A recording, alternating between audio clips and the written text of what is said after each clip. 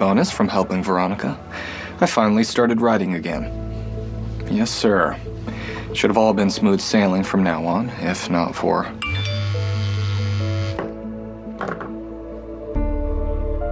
Reggie's blackmailing you. See, this is why I never liked him, even in high school. I know. He's the worst, but he has a certain piece of information that could destroy me if it got out.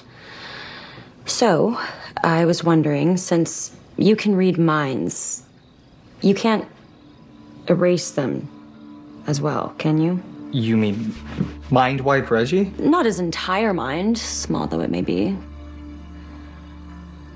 Just the fact that I ordered a hit on my father. Yeah, you know, I always wondered about that.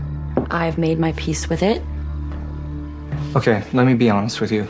Um, first off, I don't even know if that kind of surgical wipe is possible, or if it's something I'm even capable of.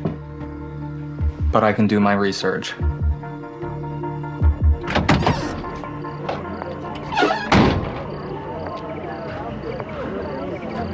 What the hell?